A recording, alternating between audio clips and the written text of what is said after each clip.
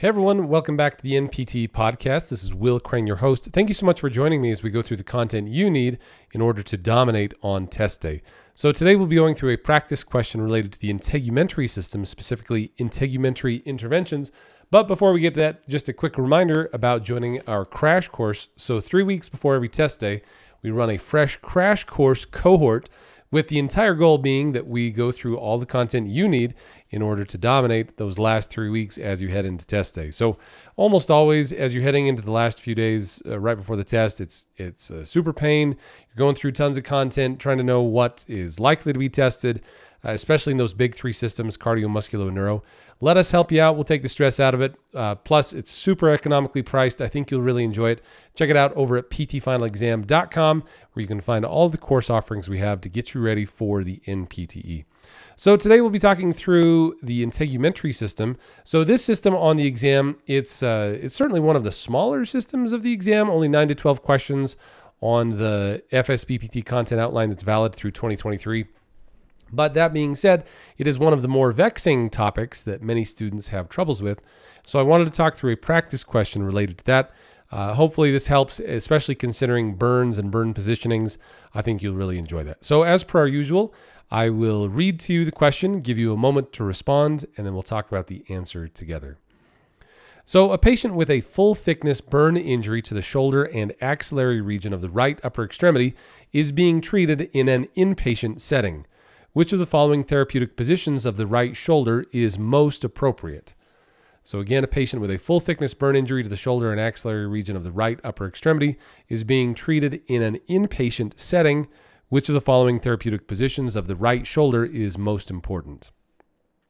Abducted to 100 degrees, abducted 45 degrees, horizontally adducted 30 degrees, full abduction and 45 degrees lateral rotation, arm at side laterally rotated 90 degrees. So again, those options are abducted to 100, abducted 45, horizontally adducted 30, full abduction and 45 degrees lateral rotation, arm at side laterally rotated 90 degrees. So the principle or the premise of this question is identifying that there are some therapeutic position considerations after a burn, especially considering the contractures that are likely to show up after some type of severe burn. So, a full, full thickness burn, you're likely to see some severe scarring. So, that scarring can create joint contractures, preventing movement or motion around a joint that you would desire. So, limiting range of motion essentially. So, the key here is that for therapeutic positioning, you'll want to keep the keep the patient around 90 to 110 degrees of of abduction.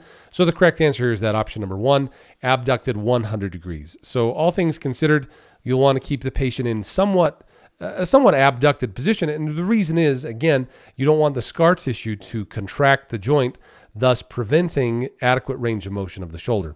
Now, again, this is all according to, to Goodman's pathology, but uh, the premise is you need to have them in a somewhat comfortable position. So you'd not want to have them in full abduction, and likely the skin would not be able to tolerate that full abduction. Uh, but you do want them in adequate abduction so they don't get a, a contracture in the axillary region. So again, the target position here is somewhere between 90 and 110 degrees of abduction. Uh, it doesn't describe any particular requirement for external rotation.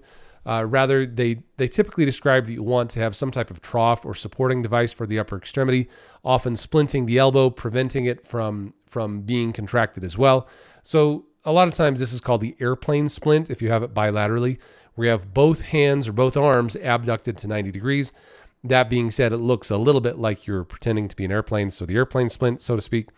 Uh, these other options that are incorrect, so abducted 45 with horizontal adduction 30 degrees, that is indeed the open pack position of the shoulder. However, we're not talking about a capsular issue. Rather, with this burn or this integumentary issue, obviously we're talking about skin and skin contractures that can result in a decrease in range of motion. Uh, these other incorrect answers, so full abduction, 45 external rotation, or the arm at side, external rotation to 90, both of these don't adequately describe the abduction required for someone with an axillary burn. So again, the key consideration is that you have uh, some type of, of severe burn, which will result in scarring, And so, in order to prevent joint contractures, you have to position the patient so as to avoid uh, letting the scar contract the contract the joint into position. So, other examples of this would be like with the neck. So, let's say you had a burn on the front of your neck. You would want to avoid neck flexion positioning.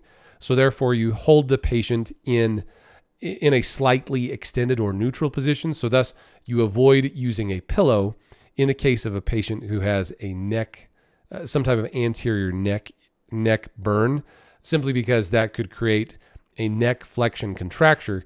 Uh, similarly, for the hip, same thing that if you had a a burn on the front of the hip, you'd want to maintain the hip in extension or at least neutral in order to prevent a hip flexion contracture. Uh, those are probably the biggest ones you'll see. Elbow, so if you have a, a burn to the anterior surface of the elbow, you'll want to keep the elbow in extension, again, preventing the skin from being contracted during its prolonged, uh, during its, its healing process, which will invariably lead to some scarring if it's a deep partial thickness or a full thickness wound. So those are the considerations. Another interesting consideration is that active range of motion is is suggested every 2 hours while the patient is awake, again, to prevent the, the contracture of the joint. Uh, the only exception to that would be if there was skin grafting that needed to be immobilized for a certain period of time so that the skin graft could take, so to speak, is, could actually graft into place. But that being said, you as a PT, you'll be, you'll be heavily involved in positioning of the patient and then the frequent therapeutic exercise to prevent joint contractures with the patient. So there you go. Handful of questions on the test about the integumentary system. Uh, this one talking about integumentary interventions. Be sure to check out all the other episodes we've got on the NPT podcast. And if you haven't yet, it only takes a sec. Just just scroll down to the bottom, give us a five star review. Really helps as we're trying to get the word out about the NPT podcast. And I'll catch you all in the next episode. Happy studying, everyone. Will Crane fist pumps all around. And I'll catch you in the next one.